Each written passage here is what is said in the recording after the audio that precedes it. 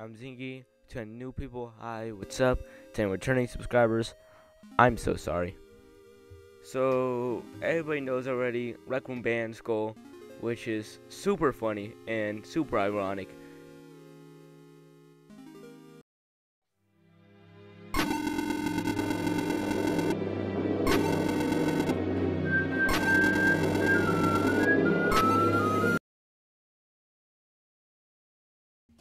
So Sk0l was banned in a super ominous way.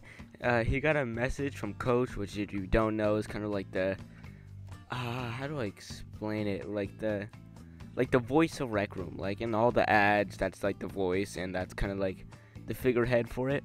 And it, they, he got a message from Coach. Are you streaming on PlayStation right now? The chat was freaking out. We were all scared, and then moments later, he was banned.